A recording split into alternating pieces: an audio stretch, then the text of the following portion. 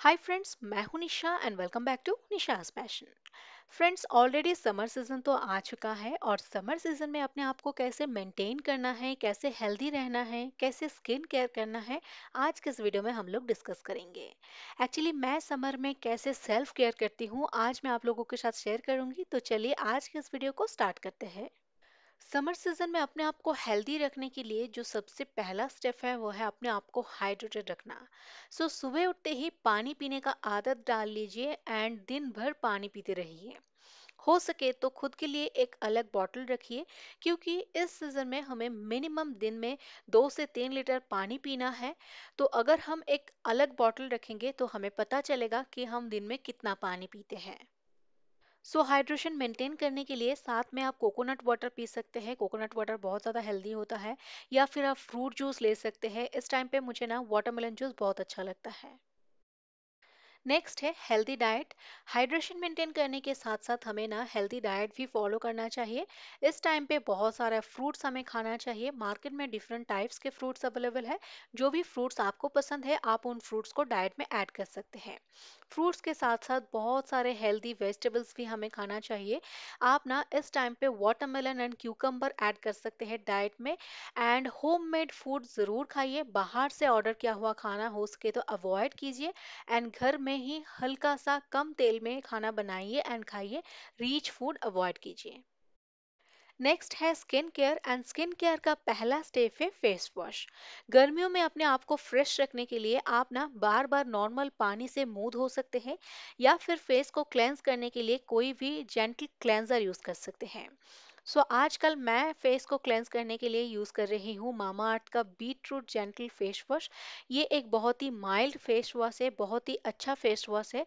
इस face wash को use करने के बाद ना स्किन बिल्कुल हाइड्रेटेड रहता है। सो so, आप भी इस फेस वॉश को ट्राई कर सकते हैं।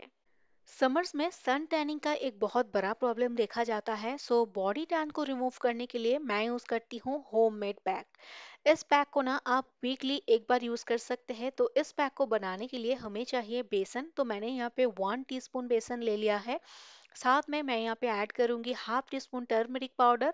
तो यहाँ पे मैं डालूँगी अभी one teaspoon curd and इसमें मैं ऐड करूँगी lastly one teaspoon tomato puree. तो इन चारों चीज़ों को अच्छे तरीके से मिक्स करके इस पैक को बनाया जाता है। आप इसको टैन रिमूव करने के लिए ईजिली यूज़ कर सकते हैं। बेसन डेड स्किन सेल्स को रिमूव करने में हेल्प करता है। हल्दी में होती है skin lightening anti inflammatory and antiseptic properties curd dark spots and pigmentation को रिड्यूस करने में हेल्प करता है। एंड टोमेटो में होता है नेचुरल ब्लीचिंग एजेंट जो कि सन टैन को रिमूव करने में हेल्प करता है। सो so, इस पैक को बना के आप टैंड एरिया में अप्लाई कर सकते हैं एंड बहुत ज़्यादा ड्राई नहीं करना है थोड़ी देर के लिए रखना है एंड डायरेक्टली पानी से धो नहीं देना है। इसको ना हल्के हाथों से रब करते हुए स्क्रब की तरह यूज़ करना है। स्क्रब करने से ना स्किन में जो डेड स्किन सेल्स है वो सारे रिमूव हो जाएगी एंड स्किन में एक अलग ही ग्लो दिखने को मिलेगी। फेस के लिए मैं यूज़ करती हूँ मामा अर्थ का उपटन फेस मास्क इसमें है turmeric saffron and apricot oil ये बेसिकली एक स्किन ब्राइटनिंग फेस मास्क है। सो मैं फुल फेस में अप्लाई करती हूँ, थोड़ी देर के लिए छोड़ देती हूँ एंड बहुत ज़्यादा ड्राई होने नहीं देती हूँ। हल्का गीला रहते ही मैं इसमें पानी ऐड करके हल्के हाथों से रब करती हूँ एंड उसके बाद वॉश कर लेती हूँ। समर सीज़न में एवरीडे बॉडी वॉश यूज़ करना तो मैंडेटरी है। बॉडी को क्लीन करने के लिए मैं इस तरह का लूफा यूज़ करती हूँ, लेकिन पैरों को क्लीन करने के लिए ना मैं इस तरह का ऑर्गेनिक लूफा यूज़ करती हूँ, क्योंकि इससे ना पैर बहुत अच्छे तरीके से क्लीन होते हैं। समर सीज़न में सिर्फ़ बॉडी वॉश यूज़ करना काफ़ी नहीं होता है कभी कभी स्क्रब करने की भी ज़रूरत पड़ती है। सो मैं ना home made body scrub use करती हूँ, आप ना इस बॉडी स्क्रब को ट्राई कर सकते हैं। इस बॉडी स्क्रब को बनाने के लिए हमें चाहिए शुगर तो मैं यहाँ पे वन टीस्पून शुगर ले रही हूँ हाफ़ टी स्पून कॉफ़ी ले रही हूँ, साथ में मैं इसमें ऐड कर रही हूँ one teaspoon coconut oil and lastly मैं इसमें डालूँगी वन टीस्पून हनी तो इन चारों चीज़ों को अच्छे तरीके से मिक्स कर लेना है। आप चाहे तो शुगर को ग्राइंड भी कर सकते हैं। सो ये जो स्क्रब बन के तैयार है ना, इस स्क्रब को आप फुल बॉडी में अप्लाई कर सकते हैं फुल लेग्स में हैंड्स में अप्लाई कर सकते हैं। बहुत ही अच्छी तरीके से डेड स्किन सेल्स रिमूव कर देती है ये स्क्रब नहाने के बाद स्किन केयर का जो पहला स्टेप मैं फॉलो करती हूँ वो है एक टोनर यूज़ करना। मैं आजकल यूज़ कर रही हूँ मामा अर्थ का रोज़ फेस टोनर बहुत अच्छा टोनर है। एवरी डे फेस वॉश करने के बाद टोनर यूज़ करना चाहिए। सो so, मैंने फुल फेस में अप्लाई कर लिया है एंड अभी मैं यूज़ कर रही हूँ बायोटिक का बायो डैंडलियन यूथ सिरम जो कि बहुत ही अच्छा सिरम है। मैं इस सिरम को रोज़ यूज़ करती हूँ बहुत बहुत अच्छा है एंड बहुत दिनों से यूज़ कर रही हूँ। फुल फेस में नेक में मैंने इसको अप्लाई कर लिया है एंड इसको अच्छे तरीके से ब्लेंड करना है हल्के हाथों से मसाज करते हुए। सेरम यूज़ करने के बाद अभी मैं यूज़ कर रही हूँ बायोटिक का मॉर्निंग नेक्टर मॉइस्चराइज़र चाहे जो भी सीज़न हो क्लेंजिंग टोनिंग मॉइस्चराइजिंग एवरीडे करना ही चाहिए।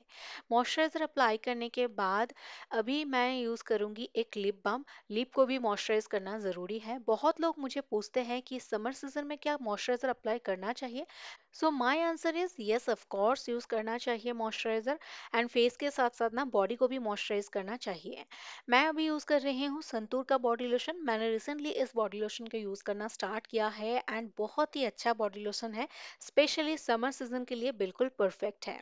मैं ना every day body lotion use करती हूँ, चाहे समर सीज़न हो या फिर विंटर एंड इस बॉडी लोशन में ना सैंडलवुड है सो so इसका फ्रेग्रेंस ना बहुत ही अच्छा है एंड ये बॉडी लोशन यूवी रेज से भी प्रोटेक्शन देता है। अभी एक चीज़ बाकी रह गया है समर सीज़न हो और सनस्क्रीन ना हो ऐसा तो हो ही नहीं सकता। सो so, अभी मैं अप्लाई करने वाली हूँ मामार्थ का vitamin C daily glow sunscreen. Sunscreen everyday apply करना चाहिए चाहे बाहर निकले या फिर ना निकले। सो so, अभी मैं सनस्क्रीन अप्लाई कर रही हूँ। मैं ना विंटर में भी सनस्क्रीन अप्लाई करती हूँ एंड आप लोगों को भी सजेस्ट करूँगी कि समर हो चाहे विंटर हो सनस्क्रीन अप्लाई करना मैंडेटरी है स्पेशली डे टाइम पे। तो अभी मैं अप्लाई कर रही हूँ। हाँ ब्लेंड होने में थोड़ा टाइम लगता है बट ये सनस्क्रीन ना बहुत ही अच्छा है। ब्लेंड होने के बाद ना कोई व्हाइट कास्ट नहीं रहता है एंड बिल्कुल स्मूथ हो जाता है।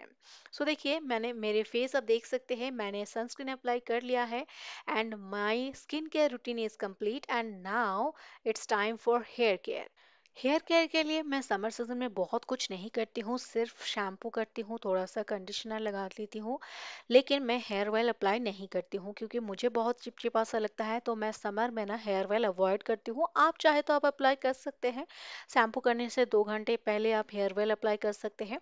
तो मैंने शैम्पू कर लिया है, शैम्पू करने के बाद अच्छे तरीके से हेयर वॉश कर लेती हूँ, कंडीशनर भी अप्लाई कर लेती हूँ। एंड उसके बाद बालों को सुखाने के लिए मैं एवरीडे हेयर ड्रायर यूज़ नहीं करती हूँ। इस तरह से बालों को सुखाने के लिए मैं माइक्रोफाइबर का टॉवल यूज़ करती हूँ एंड थोड़ी देर छोड़ देती हूँ। माइक्रोफाइबर का टॉवल ना इजीली पानी सोख कर लेता है तो बाल ना जल्दी से सूख जाता है। और कभी कभी जब जल्दी होता है तब तो हेयर ड्रायर यूज़ कर लेती हूँ बट एवरीडे नहीं करती हूँ। बालों को ज़्यादा सूखने से पहले ना मैं क्या कर लेती हूँ, एक लिवन का हेयर सिरम है, इसको यूज़ कर लेती हूँ। ये ना बहुत ही यूज़फुल सिरम है, मैं ना इसको बहुत बहुत सालों से यूज़ कर रही हूँ। एंड जब मैं हेयर ड्रायर यूज़ करती हूँ ना, उससे पहले भी इस सीरम को अप्लाई कर लेती हूँ एंड उसके बाद ही हेयर ड्रायर यूज़ करती हूँ। और हेयर ड्रायर यूज़ नहीं भी करूँ, तब भी मैं एवरीडे बालों को वॉश करने के बाद थोड़ा सा सिरम लगा लेती हूँ, इससे ना बाल सिल्की रहते हैं। बहुत ही यूज़फुल सिरम है, आप भी ट्राई कर सकते हैं। समर्स में अपने आप को प्रोटेक्टेड रखने के लिए अम्ब्रेला बहुत यूजफुल होता है। जब भी आप बाहर जाएँगे ना, साथ में एक अम्ब्रेला ज़रूर कैरी कीजिए। ये देखिए, मेरे पास है इस अम्ब्रेला ब्रांड का ये अम्ब्रेला ये एक बहुत ही यूजफुल अम्ब्रेला है, मैं उसको यूज़ करती हूँ एवरी टाइम सो इसके जो फीचर्स है, मैं आपको बताऊँगी। सबसे पहले आउटर कवर को रिमूव कर देती हूँ। ये एक ऑटोमेटिक अम्ब्रेला है। इसको यूज़ करना बहुत ज़्यादा सिंपल एंड ईजी है। सबसे पहले मैं इसको ओपन कर लूँगी। एंड इसको ओपन करने के बाद अम्ब्रेला को ओपन करने के लिए जस्ट इस बटन को प्रेस करना है। इसको प्रेस करते ही अम्ब्रेला ओपन हो जाता है। ये देखिए। तो देखिए अम्ब्रेला ओपन हो चुका है एंड मैं आपको बता दूँ, ये ना बहुत ही ब्रॉड अम्ब्रेला है। ये फोल्ड होके छोटा हो जाता है, इसका मतलब ये नहीं कि अम्ब्रेला छोटा है अम्ब्रेला बहुत ब्रॉड है, लेकिन फोल्ड होके बहुत छोटा हो जाता है, इसलिए कैरी करना बहुत ज़्यादा ईजी हो जाता है। एंड इसको बंद करना भी बहुत ज़्यादा ईजी है, इस रेड बटन को प्रेस करते ही अम्ब्रेला बंद हो जाता है एंड बंद होने के बाद इसको इस तरह से ला अटैच करना होता है। बहुत सिंपल एंड ईजी है एंड देखिए ट्रांसपेरेंट हैंडल होने की वजह से ना अंदर का जो मैकेनिज्म है, वो भी पता चलता है। ये एक लाइट वेट अम्ब्रेला है बट स्टर्डी है। मेरे लिए ये अम्ब्रेला बहुत यूजफुल है। अगर आप चाहे तो आप इसको परचेस कर सकते हैं। मैं डिस्क्रिप्शन में लिंक डाल दूँगी। गर्मियों में खुद को थोड़ा-सा रिलीफ देने के लिए आप ना इस तरह का एक मिनी फ़ैन परचेज़ कर सकते हैं। आजकल मार्केट में डिफरेंट टाइप्स के, डिफरेंट ब्रांड्स के मिनी फैन्स अवेलेबल है, लेकिन मेरे पास ये फ़ैन है। इसमें ना आपको चार कलर ऑप्शन मिल जाएँगे आपको मैं एक बार फ़ैन दिखा देती हूँ। बहुत ही छोटा-सा एक फ़ैन है, बिल्कुल बच्चों के टॉयज़ की तरह है। इसको यूज़ करना बहुत ज़्यादा ईज़ी एंड सिंपल है। इसके साथ ना आपको एक वारंटी कार्ड मिल जाएँगे एक यूएसबी केबल मिल जाएँगे इसको चार्ज करने के लिए। ये देखिए छोटा-सा ये फ़ैन है।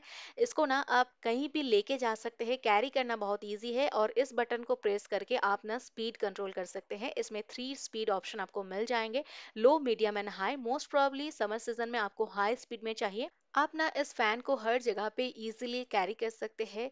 मेरे लिए ये फ़ैन बहुत यूज़फुल है। अगर आपको पसंद है तो आप भी परचेस कर सकते हैं। मैं डिस्क्रिप्शन में लिंक डाल दूँगी तो फ्रेंड्स आज के इस वीडियो को मैं यहीं पेंट करती हूँ। Hope you like this video. Stay happy and healthy. See you in the next video. Bye bye.